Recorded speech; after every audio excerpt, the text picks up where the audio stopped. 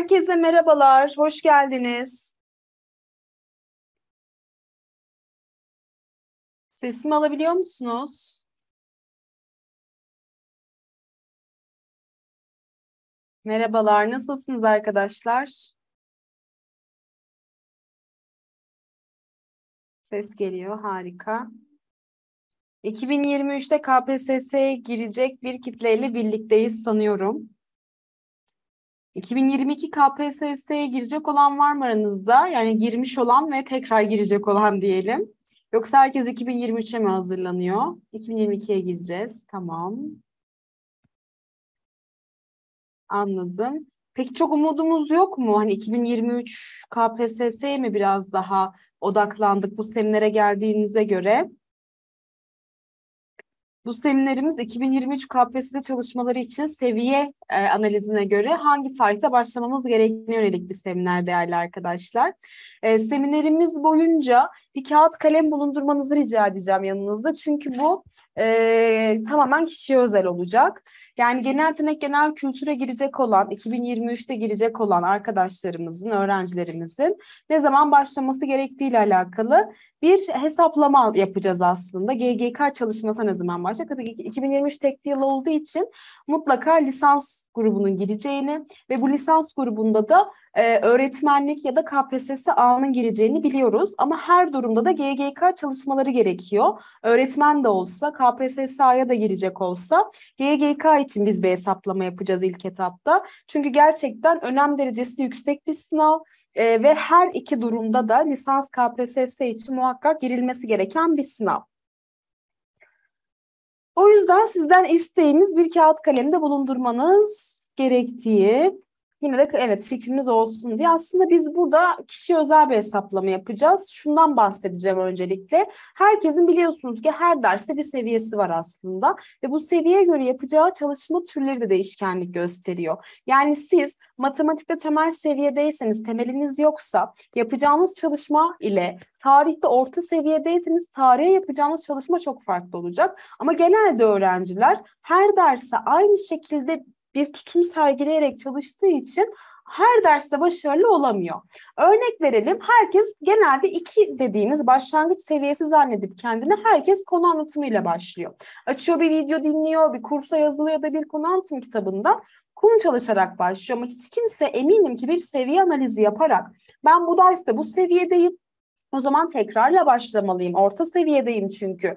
Ya da ileri seviyedeyim. Kolay soru çözerek başlamalıyım. Ya da temel seviyedeyim bir ön hazırlık yapıp ondan sonra konu anlatımına geçmeliyim gibi bir ayrım yapmıyor. Bizim buradaki en temel mantığımızdaki fark aslında herkesi seviyesine göre farklı bir çalışma türüyle başlatıyor olmak.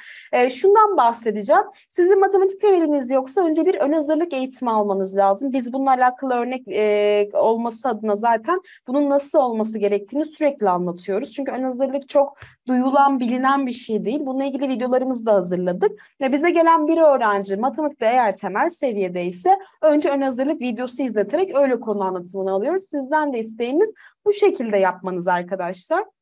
Şimdi size e, bir boş tablo çizmenizi isteyeceğim. Buraya 5 ana dersimizi yazıp Buna eğitim bilimlerine, ÖABT'ye, KPSS'ye, lise ön da uyarlayabiliyoruz. Ee, ama şu anda lise ön lisans için de yapabilirsiniz ama lise ön lisans zaten başlamıştır çalışmaya. Biz bu hesabımızda hangi tarihte başlamamız gerektiğini hesaplayacağız GGK'dan yola çıkarak.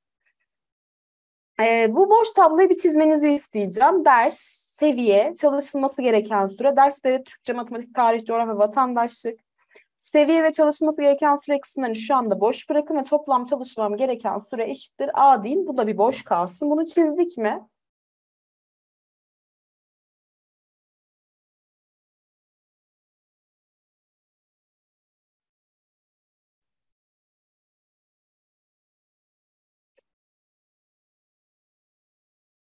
Çizen var mı ya da şu an? Tamam. Çok özenli çizmenize gerek yok. Bir hesaplama yapacağız sadece. Herkesinki farklı çıkacak.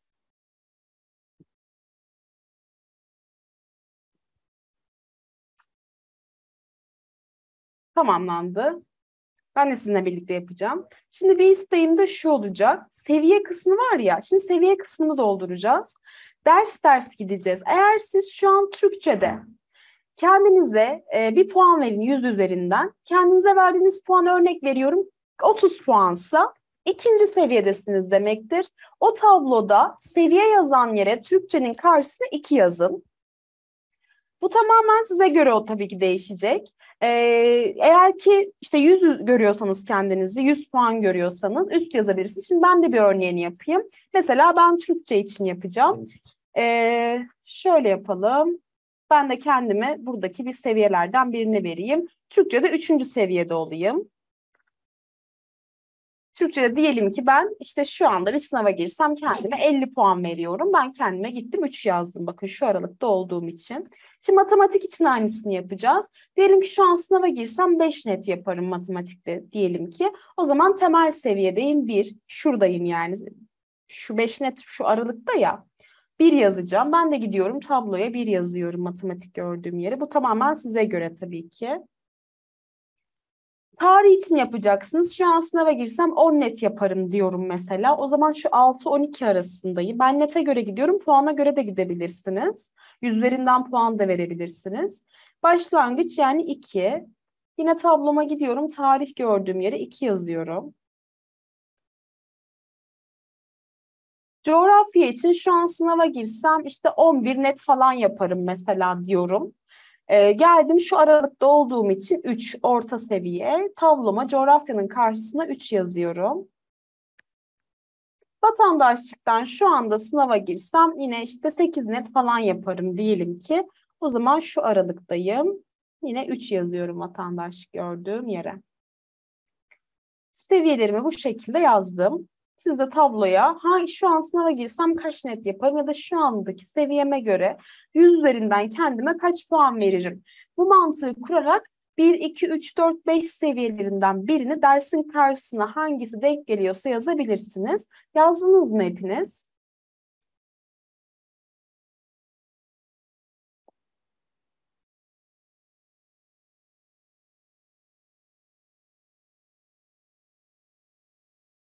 Tamam, güzel. Yazdık. Şimdi bu çalışılması gereken süre vardı ya, şimdi gideceğim ona yazacağım. Neye göre yazacağım? Ee, hangi seviyedeysem onun karşısına gelen süreyi yazacağım. Şimdi mesela Türkçe'de ben 3'müşüm. Türkçe 3.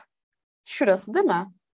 72. Ben tabloma gideceğim şimdi 72 yazacağım buraya. Benimle birlikte siz de gördükçe yazabilirsiniz. Matematikte ben birinci seviyedeymişim. 1, 264. Tabloma gidiyorum. 264 yazıyorum. Ee, tarihte 3 müydüm? 2 idim. Tarih 2 başlangıç. O zaman 220 yazacağım tabloda. Coğrafyada 3 çıkmıştım. Coğrafya 3 60. Tabloda gidiyorum buraya 60 yazıyorum. Vatandaşlık 3 yine 60. Tabloda buraya 60 yazıyorum. Siz de Buna göre ne çıktıysanız hemen yanına sürelerini yazın. Bunlar çalışmanız gereken süreler bu arada. Seviyeye göre değişiyor gördüğünüz gibi. Belki herkes toplamda matematik örnek veriyorum işte 100 saat çalışıyordu. Ama aslında bu seviyeye göre değişiyor. Yani matematiğe çalışmanız gereken süre temel seviyede olan biri için 264 saatken Üst seviyede olan biri için 55 saat gördüğünüz gibi. Yani üst seviyede olan bir kişi gidip de 200-300 saat çalışıp da zaman kaybetmemeli. Burada anlatmaya çalıştığımız mantık bu aslında. Bunu da yazın. Bakalım kim kaç saat çalışmalı çıkacak, hangi tarihte başlamalı olarak çıkacak. Bunu da yazdık mı? Yazdıysak artık formülleme kısmına geleceğiz yavaş yavaş. Çalışılması gereken süre sadece konu anlatımı yoksa soru çözümü dahil mi? Aslında şöyle söyleyebilirim size. Hemen bunu açıklayalım. Şimdi çalışması gereken süre sadece konu anlatımı değil. Çünkü biz konu anlatımını bakın şu tabloyu gördünüz mü? Konu anlatımımızda da başlangıç seviyesine ilk etapta öneriyoruz. Temel seviye ön hazırlık yapıyor, konu yapıyor, tekrar, kolay, orta. Başlangıç seviyesi konu, tekrar, kolay, soru, orta, zor soru. Orta seviye çıkarsak tekrar, kolay soru, orta, zor soru. İleri seviye çıkarsak kolay soru, orta zor soru. Üst seviye çıkarsak sadece orta zor soru. Dolayısıyla sen burada olduğunda bir dersi örneğin 300 saat çalışıyorken çünkü bunu yapacağım, bunu yapacağım, bu, bu, bu. Dolayısıyla süren arttı. Buradayken sadece kolay soru çözmen gerektiği için belki işte 50 saat çalışman gerekecek. Çünkü sadece kolay soru çözeceksin. Buradaki mantık da tamamen buna göre arkadaşlar. Çalışması gereken süre, örnek veriyorum üst seviyedeki biri için bunlar soru çözüm saatleri zaten. Ya da orta seviyedeki biri için bunlar tekrar süreleri. Ama temel seviyede biri için hem ön hazırlık, hem konu, hem tekrar, hem soru çözümü. Başlangıç seviyesindeki biri için hem konu, hem tekrar, hem soru. Orta seviye 72 dediğim işte tekrar artı soru çözümü mesela. Demek istediğimiz bu aslında. Yani soru çözümü de tabii ki de dahil, hatta tekrar bile dahil. Bu tamamen seviyeye göre. Bu da tamam. Şimdi çalışabileceğiniz saatleri öğrenmek istedim. Bir gün biliyorsunuz ya bir hafta yedi gün ve bu yedi gün içerisinde her gün aynı saat çalışmayabiliriz. E, iş hayatınız vardır, okul hayatınız vardır. O, o bir dursun. Şimdi A'yı hesapladınız, A bir dursun. Şimdi de şu, şu tabloda şöyle bir hemen bir tablo çizmenizi isteyeceğim ve her gün kaç saat çalışacağınızı yazmanızı isteyeceğim. Örneğin, diyelim ki ben sana hazırlanan bir adayım diyelim ki iş hayatım var. E, hafta içi toplamda 4 saat çalışabiliyorum diyelim ki.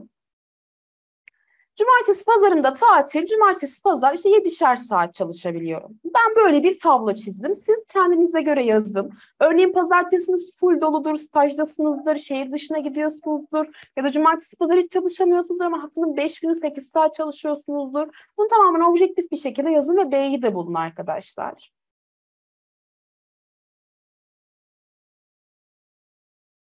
Evet, benim için B kaç? 34 mü? 7, 14, 18, 21, 25, 29, 31 mi? 34 herhalde.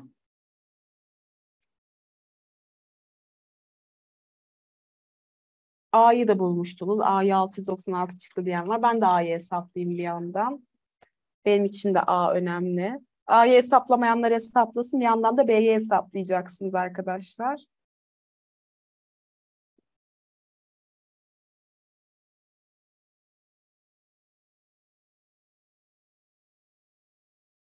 676 çıktı bende de A. Evet B'yi de bulduk bulduk herhalde. Ben de B'yi buldum. B34. Şimdi gelelim formüle. Bakalım kim ne zaman çalışmaya başlaması lazım. Şimdi A'yı bulmuştuk değil mi? A bende kaçtı? 676 idi. B eşittir 34'tü. Siz de kendinize göre yazın. C 50 bunu neye göre yazdım arkadaşlar? Kalan hafta sayısı şu anda tahmini olarak bir sınav tarihi belirledim. Bunu siz kendinize göre tabii ki değiştirebilirsiniz sınavınız neyse. Örneğin KPSS A'ya göre yapan birisi dersleri değiştirebilir ve sınav, kalan hafta sayısını değiştirebilir. Ee, ya da şu an ön lisansa göre yapıyorsanız şu anki ön lisansa kalan hafta sayısını yazabilirsiniz. 2022 için girecek olanlar. Ben 2023 semineri olduğu için 2023'e göre ortalama 50 hafta vardır diye bir hesap yaptım. Tabii ki şu an sınav tarihi belli değil. Ama yine aynı sistemdeki gibi Temmuz'un sonu gibi olursa şu anda normal bir durum olduğu için bir ertelenme söz konusu. Normal şartlarda Temmuz'un sonu olursa 30 Temmuz gibi 50 haftaya kalmış oluyor. O şekilde baktım. Toplam çalışma sürem de B çarpı C yani haftalık toplam çalışabileceğim süreyle kalan hafta sayısını çarpıyorum. Yani 34'te 50'yi çarpacağım ben. D'yi bulacağım. Siz de D'yi bulun. Herkesin farklı çıkacak çünkü. Yani C herkes için eşit olsa bile B farklı biliyorsunuz. D bende 1700 çıktı. Ben bir A'ya tekrar bakayım. Hah, 676 tamam. Şimdi gelelim şurada bir hesap yapacağım. 1700 D'ydi benim için. Eksi 676 bölü 34. Ben şöyle bir hesap yapacağım. Hesap makinesi kullanmak tabii ki serbest. Böyle bir şey kafanızdan e, topla ve çıkar çarp yapmanızı istemiyoruz.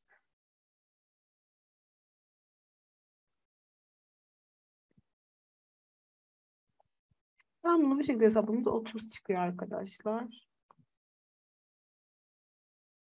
Şimdi ne yapacağımızı anlatacağım.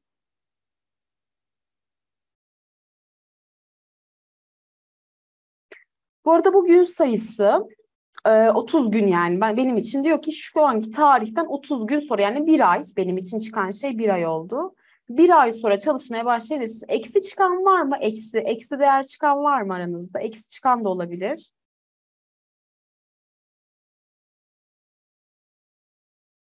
Yani bu benim için 4 hafta demek. Bu ne demek şimdi? Bugünün tarihine 38.31 o zaman sizin için de kaç hafta demek? 6 hafta demek. Bu ne demek biliyor musunuz? Şu günün tarihinden 6 hafta sonra en geç çalışmaya başlamalısın. Ama bu sadece GGK için. Şimdi eğer ki siz KPSS A'ya da girecekseniz ya da GGK eğitim ÖABT gibi sınava gireceksiniz. Bu 2023 GGK için sadece.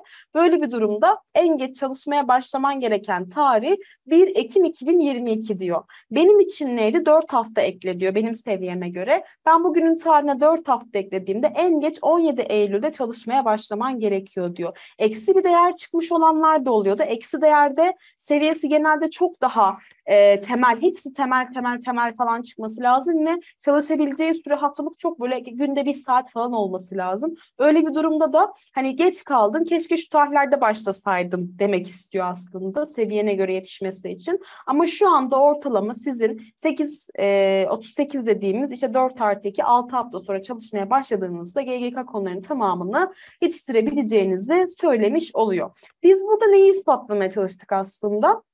Herkesin seviyesi farklı, öğrenme yapısı, öğrenme karakteri, zeka tipi, dikkat dağınıklığı oranı her şeyi farklı. E, dolayısıyla seviyenize göre yapmanız gereken çalışmalar farklı. Sizinki 29.52, 10.30'da yuvarlayın 4 hafta. Sizin için içine 4 hafta eklemeniz lazım. Yani 17 Eylül'de en geç başlamanız gerekiyor çalışmalara.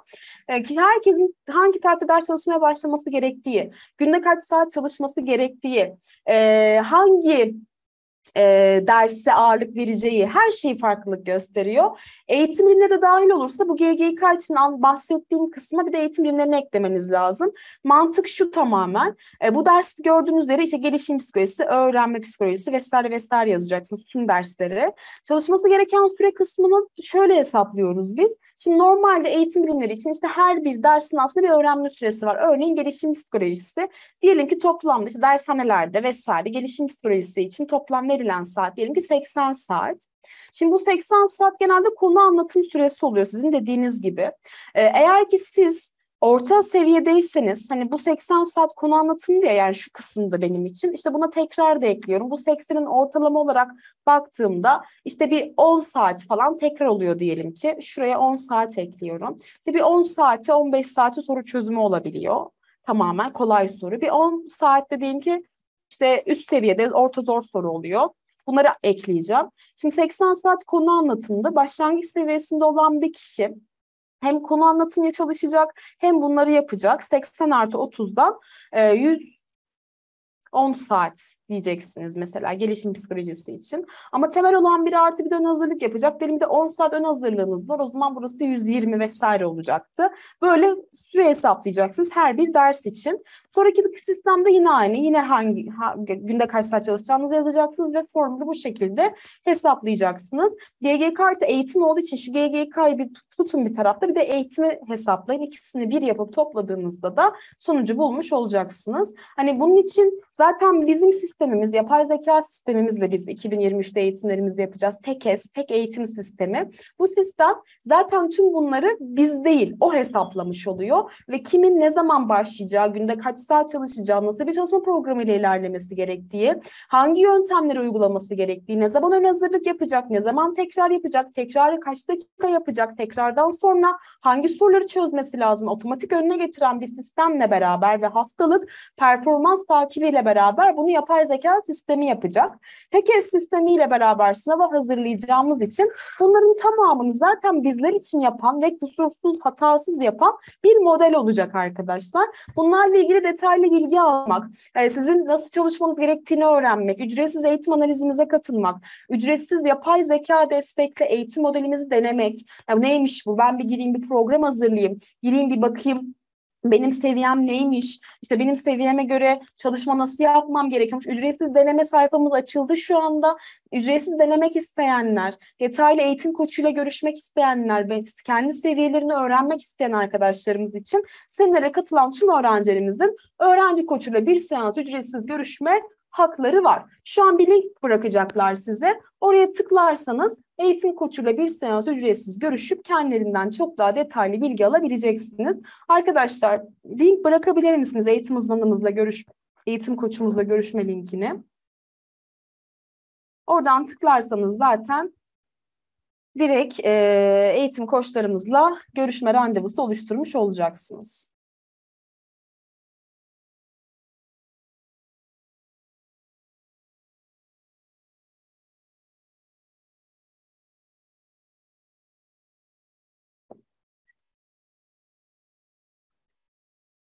Buradan tıklarsanız arkadaşlar kendileri zaten detaylı bilgilendirme yapacaklar. Lise KPSS kampı ne zaman başlayacak? Tam tarihi ben de bilmiyorum. Arayıp öğrenebilirsiniz.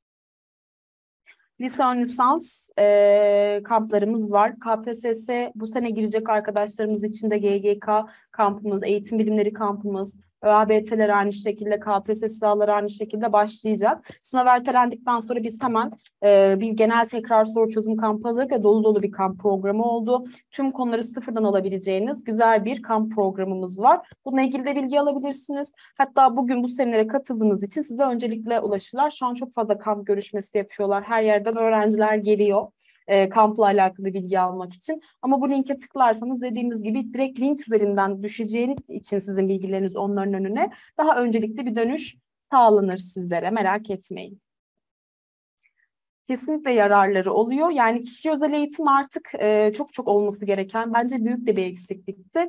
Çünkü artık her şeyin kişi özel olması lazım. Hepimiz farklıyız, farklı öğreniyoruz. Farklı isteklerimiz ve ihtiyaçlarımız var ve buna hizmet eden bir uygulamanın olması bizi doğrudan başarıya götürecek bir sistem. Şu anda üzerine 6 senedir çalışılan bir e, eğitim modelini devreye alıyoruz biz 2023 yılında ve bunun için de bayağı heyecanlıyız. E, siz de ücretsiz deneyebileceksiniz, deneyimleyebileceksiniz. Bu imkanı da size sağlamış olacağız. Eğitim koçuyla görüşüp bilgi alabilirsiniz Eliha. Onlar direkt sana net tarihi söyleyebilirler. Şu an BGK, işte A grubu vesaire çok fazla eğitim olduğu için ben ezbere bilemiyorum. Ama onların önünde zaten bilgilendirme sayfası açıktır. Bu linkten yine tıklayıp bilgi ya da şu 444 numaramızdan ararsan onlar sana net tarihi söylerler. Sizler için bir de videomuz var. Ee, bir sorunuz varsa eğer sorularınızı sorabilirsiniz. Videomuzu da izletmek isterim ve mutlaka da eğitim koçlarımızla görüşün derim. En azından bir eğitim koçuyla bir seans görüşmüş olur. Birçok şey öğrenmiş olursunuz eğitimle alakalı, e, sizin hazırlanma şeklinizle alakalı.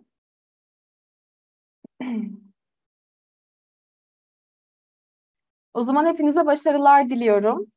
Kendinize çok iyi bakın. Hem bu yıl gireceğiniz sınavda, 2023'te girecek arkadaşlar varsa onlara da başarılar diliyorum. Her şey gönlünüzce olsun. Kendinize çok iyi bakın arkadaşlar. Görüşmek üzere. İyi akşamlar.